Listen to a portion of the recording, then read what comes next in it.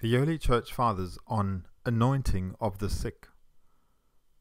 The sacrament of the anointing of the sick, or as it is sometimes referred to, the last rites, is based on the teachings of Scripture. In Mark 6, verse 13, we see that the apostles themselves performed this function. They drove out many demons and they anointed with oil many who were sick and cured them. We further see that those who succeeded the apostles were instructed to do the same. James said in this way Is anyone among you sick? He should summon the presbyters of the church, and they should pray over him and anoint him with oil in the name of the Lord, and the prayer of faith will save the sick person, and the Lord will raise him up. If he has committed any sins, he will be forgiven. James 5, verse 14. Note that the grace received not only can heal the afflicted, but is designed to forgive sin as well, as is true of all the sacraments. The sacrament of the anointing of the sick is an encounter with Christ. Hippolytus, 215 AD. If someone makes an offering of oil, the bishop shall give thanks in the same manner as for the oblation of the bread and wine. He does not give thanks with the same words, but quite similar, saying, Sanctify this oil, God, as you give holiness to all who are anointed and receive it, as you anointed kings, priests, and prophets, so that it may give strength to all who taste it, and health to all who use it. Origen 250 AD. The penitent Christian does not shrink from declaring his sin to a priest of the Lord and from seeking medicine, of which the Apostle James says, If then there is anyone sick, let him call the presbyters of the church, and let them impose hands upon him, anointing him with oil, in the name of the Lord. And the prayer of faith will save the sick man, and if he be in sins, they shall be forgiven him. Council of Nicaea, 325 AD, Canon 13. Concerning the departing, the ancient canonical law is still to be maintained, to wit that, if any man be at that point of death, he must not be deprived of the last and most indispensable viaticum. Aphraates, 345 AD of the sacrament of life, by which Christians in baptism, priests in ordination, kings and prophets are made perfect. It illuminates darkness in confirmation, anoints the sick, and by its secret sacrament restores penitence. Serapion 350 AD. We beseech you, Saviour of all men, you that have all virtue and power, Father of our Lord and Saviour Jesus Christ, and we pray that you send down from heaven the healing power of the only begotten Son upon this oil, so that, for those who are anointed, it may be effected for the casting out of every disease and every bodily infirmity, for good grace and remission of sins.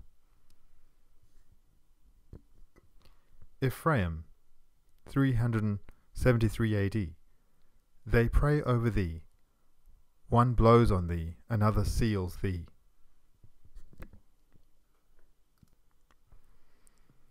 John Chrysostom of 387 AD. The priests of Judaism had power to cleanse the body from leprosy, or rather, not to cleanse it at all, but to declare a person as having been cleansed. Our priests have received the power not of treating with the leprosy of the body, but with spiritual uncleanness, not of declaring clean, but of actually cleansing. Priests accomplish this not only by teaching and admonishing, but also by the help of prayer, not only at the time of our regeneration in baptism, but even afterwards. They have the authority to forgive sins. Is there any one among you sick? Let him call in the priests of the church, and let them pray over him, anointing him with oil in the name of the Lord, and the prayer of faith shall save the sick man, and the Lord shall raise him up. And if he has committed sins, he shall be forgiven. Ambrose, why then do you lay on hands, and believe it to be the effect of the blessing, if perchance some sick person recovers? Why do you assume that they can be cleansed by you from the pollution of the devil? Why do you baptize if sins cannot be remitted by man? If baptism is certainly the remission of all sins, what difference does it make whether priests claim that this power is given to them in penance or at the font? In each the mystery is one. Jerome, 392 AD. There came also Constantia, a holy woman, whose son in law and daughter he had anointed with oil and saved from death. Cyril of Alexandria. If some part of your body is suffering, recall also the saying in the divinely inspired scripture Is anyone among you ill? Let him call the presbyters of the church, and let them pray over him anointing him with oil in the name of the Lord, and the prayer of faith will save the sick man. And the Lord will raise him up, and if he be in sins, they shall be forgiven. James 5, verse 15. Pope Innocent in 416 AD said, In the epistle of the blessed Apostle James, if anyone among you is sick, let him call the priests.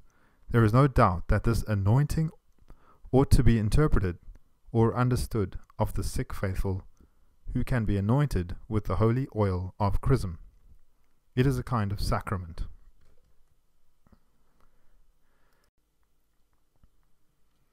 Hilary of Arles, 440 AD. When some illness comes upon man, he should hurry back to the church. Let him receive the body and blood of Christ, be anointed by the presbyters with consecrated oil, and ask them and the deacons to pray over him in Christ's name.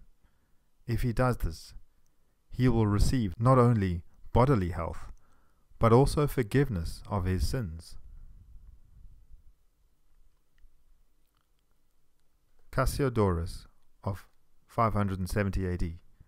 A priest is to be called in, who by the prayer of faith, oratione fidei, and the unction of the holy oil which he imparts will save him who is afflicted by a serious injury or by sickness.